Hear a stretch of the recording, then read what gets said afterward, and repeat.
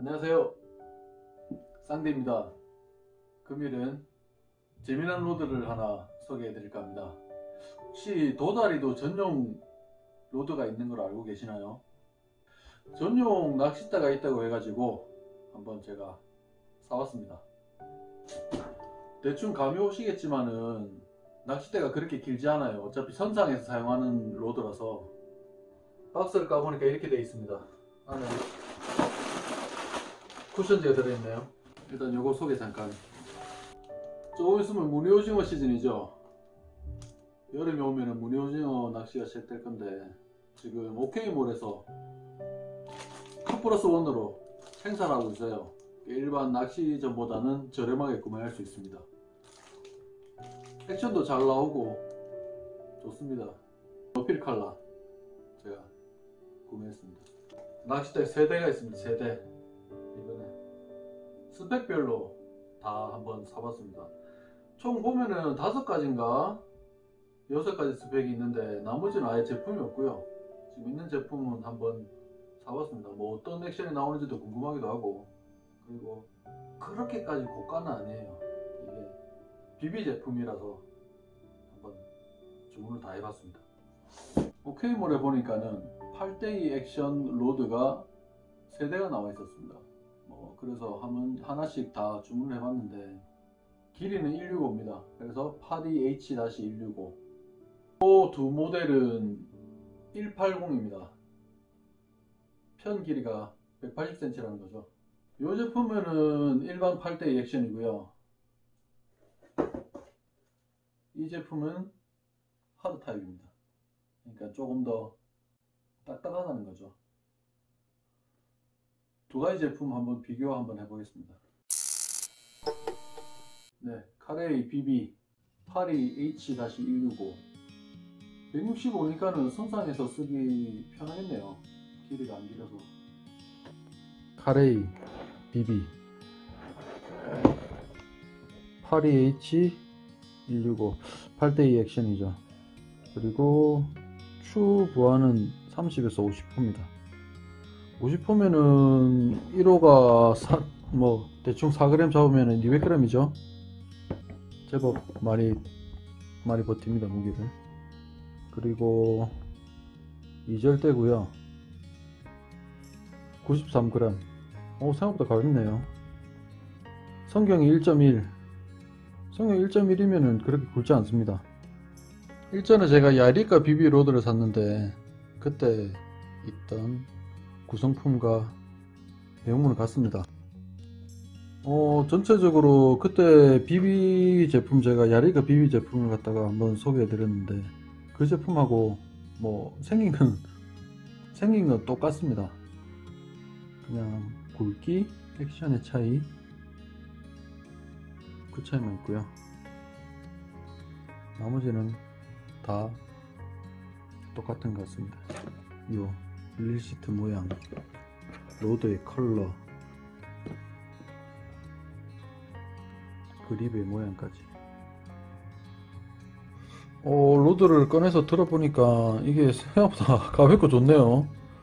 이거 액션을 보니까는 문어 로드로 쓰기 딱 안성맞춤인 것 같은데요 뒷그립도 그렇게 길지 않습니다. 제가 상박이 조금 짧은 편인데 뭐 이 정도면은 괜찮은 것 같네요.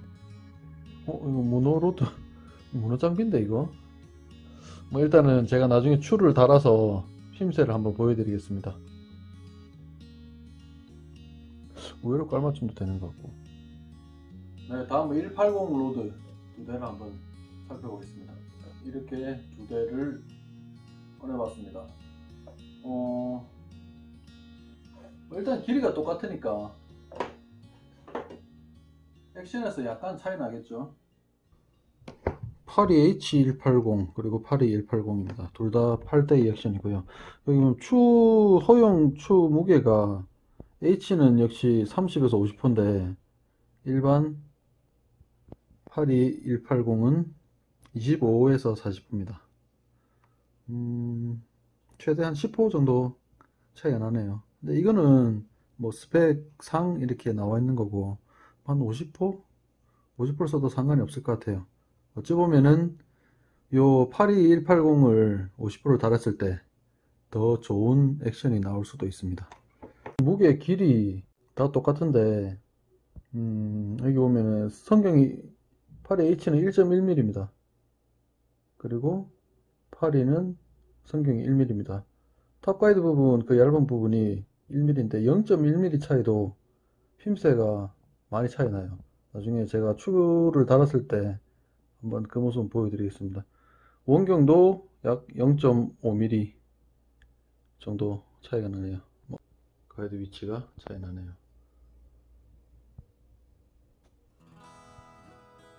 하나, 둘, 셋, 넷, 다섯, 여섯, 일곱, 여덟, 아홉, 열, 열하나, 열둘, 열셋. 채비를 해서 액션을 한번 보겠습니다. 어, 제가 사용하는 문어릴이고요. 합사는 둘 다 2호가 감겨 있습니다. 체계를 해서 눈주게 봐야지 H와 일반의 차이를 알 것 같아요. H165, H280은 어차피 액션은 똑같겠죠. 길이 차이만 날 뿐이고 가자미나 도다리 낚시에 요 파이프 편대를 쓴답니다.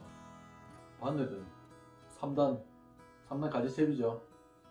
그냥 하나씩 이렇게 뽑아서 묶는 스타일이 아니고 3개가 이어져 있습니다. 추는 제가 50호를 준비했어요.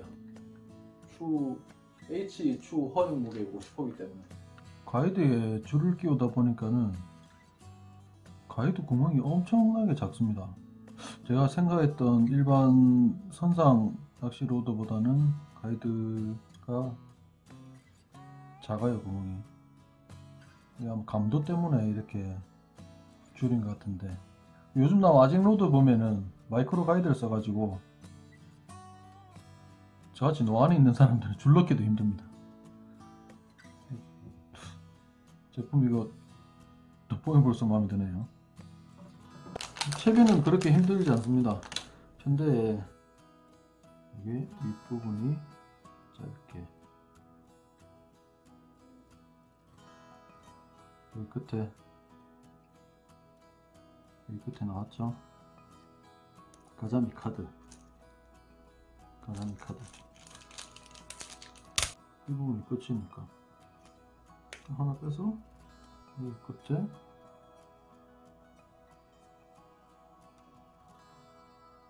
이렇게 묶으면.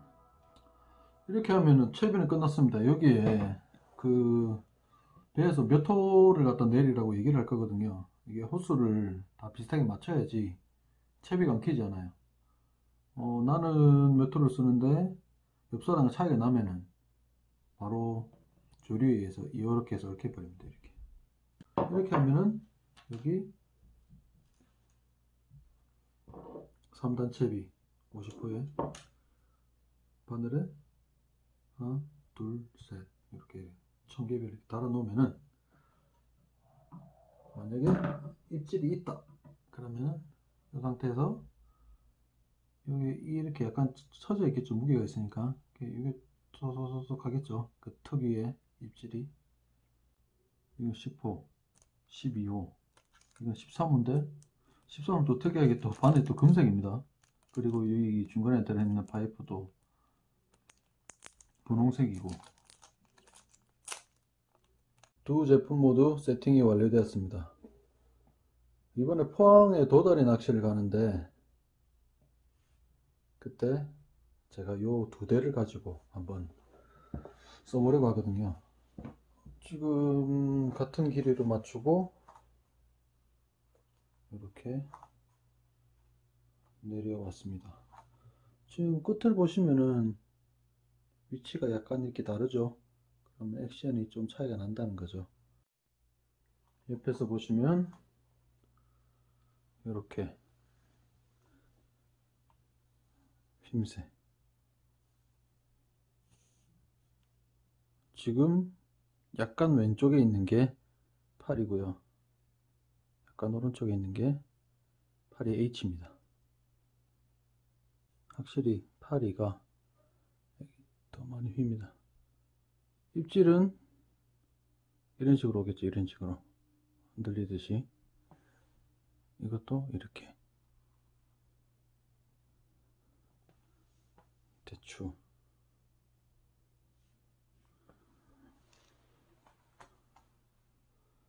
이거를 들고 재밌게 낚시하고 있습니다.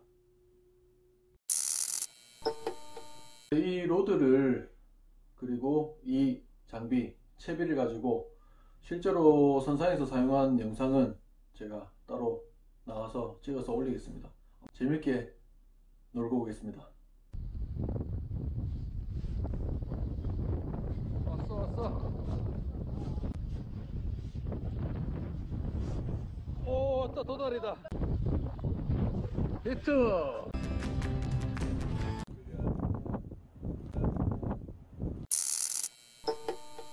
제가 준비한 영상은 여기까지입니다. 어떤가요? 도다리, 가자미, 전용 rod 괜찮은가요? 어떻게 보면은 일반적인 준화으로도 충분히 잡을 수가 있고 방파제에서 원투로도 잡을 수 있지만 선상에서 전용 장비를 가지고 잡았을 때 더 재밌을 것 같습니다. 이 로드를 구매한 이유는 여름이 되면은 문어가 시작되는데 여름에 나오는 문어는 사이즈가 그렇게 크지 않습니다. 근데 문어 시즌 때 제가 사용하려고 뭐 스펙도 알아보고 무게도 알아보고 도달에도 쓰고 그리고 문어에도 쓰고 하려고 한번 구매를 해봤습니다. 코로나19 손을 댈 때까지 건강 조심하시고요. 사회적 거리두기 잘 지켜서 모두 모두 건강했으면 좋겠습니다. 그럼 다음 영상으로 찾아뵙겠습니다. 시청해주셔서 감사합니다. 안녕.